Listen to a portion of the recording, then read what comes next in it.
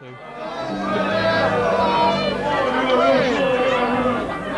it's called Pretty Flamingo.